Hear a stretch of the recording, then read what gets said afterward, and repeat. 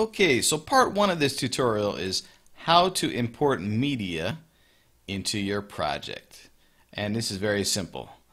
So there's two places you can actually do it. You can do it by clicking Add Media, and you can also do it on the Project menu by clicking Project and then Add Media. Both go to the same location. So let's go ahead and click Add Media. So now we're going to locate the actual videos that we want to edit on our hard drive, and I'll just pick a couple here and go ahead and click open.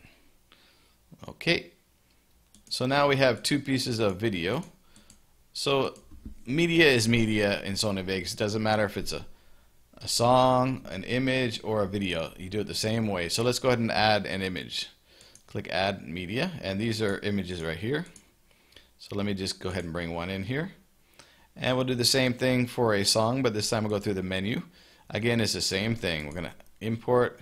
I'll go to my downloads where I actually downloaded a uh, music file. And now we have music, image, and two video clips. Okay? So that's how you do it. It's pretty straightforward, yeah?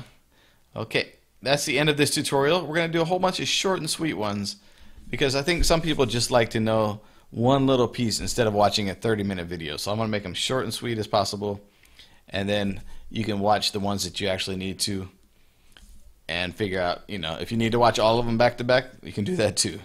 Okay, thanks for watching. Uh, don't forget, subscribe, thumbs up, comment.